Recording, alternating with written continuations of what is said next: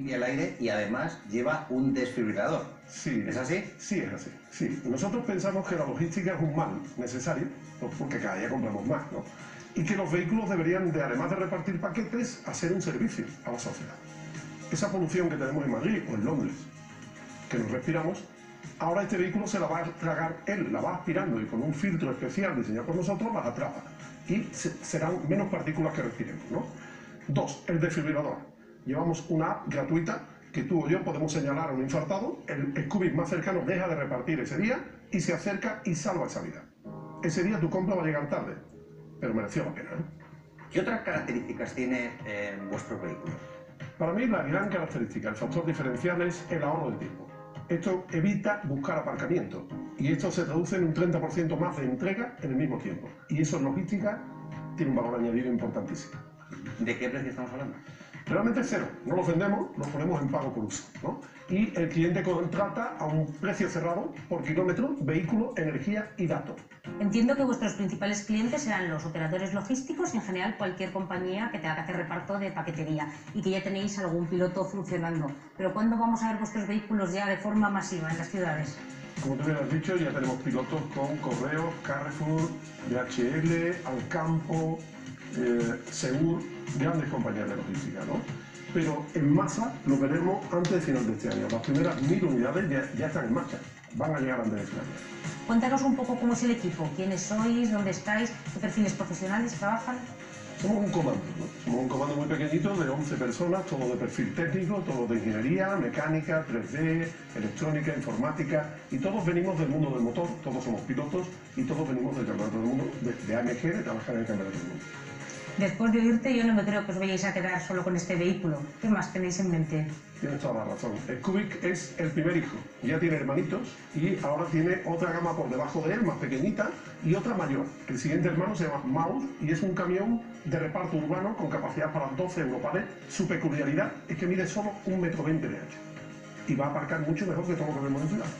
Nos interesaría mucho saber qué le querrías decir a alguien que está pensando en lanzarse ahora. Yo les diría a la gente joven primero que se lo piense de verdad antes de hacerlo.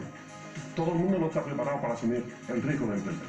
Segundo, cuando tomes la decisión, haz tu carta de navegación, un buen business plan.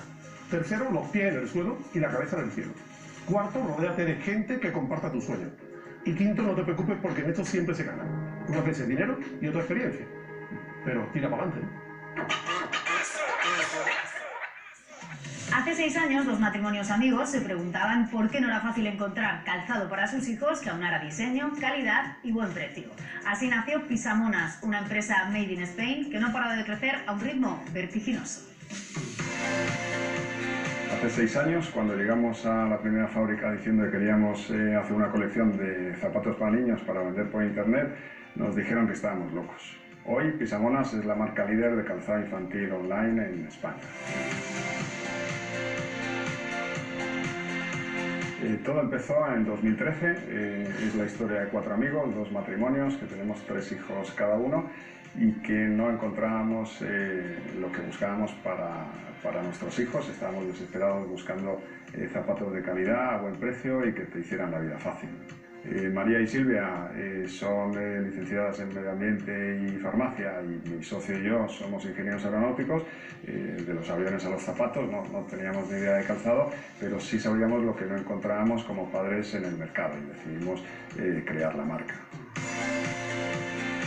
Decidimos viajar por diferentes fábricas en, España para encontrar eh, la línea que queríamos de calzado.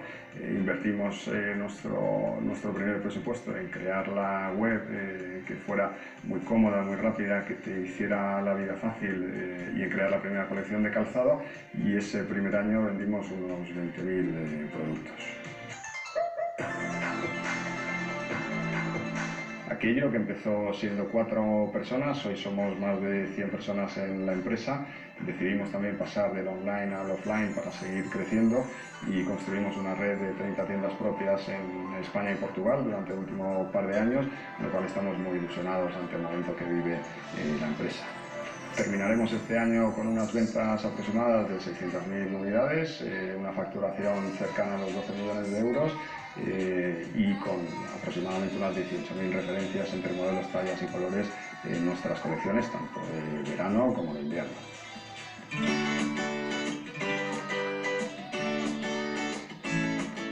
Hacemos zapatos principalmente para niños de 0 a 10 años, eh, zapatos para todas las ocasiones, zapatos pues, de bautizo, zapatos de sport, zapatos de vestir, eh, tenemos merceditas, eh,